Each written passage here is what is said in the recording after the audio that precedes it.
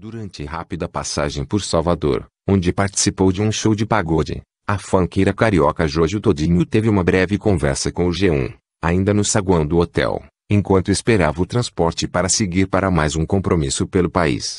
Rodeada por crianças, que a todo momento pediam para tirar fotos, a dona do riff Que Tiro Foi Esse falou que seus vídeos na internet, onde fala de temas como preconceito e aceitação, assim como suas músicas, também servem para atingir as crianças.